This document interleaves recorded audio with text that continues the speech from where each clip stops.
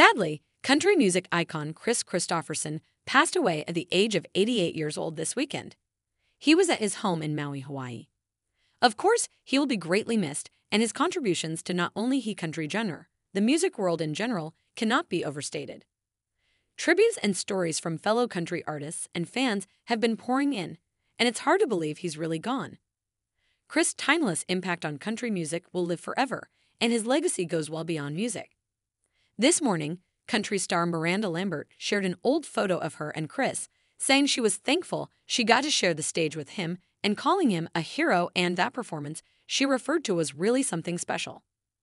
Back in 2010, Merle Haggard was part of the Kennedy Center's honors class and of course, some of his fellow country artists showed up to pay tribute to the hag on a very special evening. Miranda and Kris teamed up for a gorgeous rendition of Silver Wings, which was included on Merle's 1969 album, A Portrait of Merle Haggard.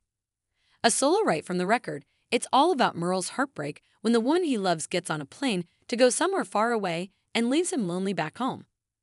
It's still beloved by fans to this day, even though it was never released as a single, and it definitely should have been and has remained a country classic for 55 years now, and Kris and Miranda did the song more than justice in my opinion.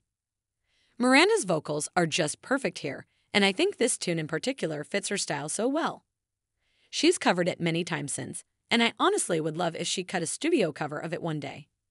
In the video, you see a shot of the hag, along with fellow honorees Oprah Winfrey and Paul McCartney, not bad company, nodding along, and while you might not have been able to tell by his outward expression, I think Merle was probably touched by the performance.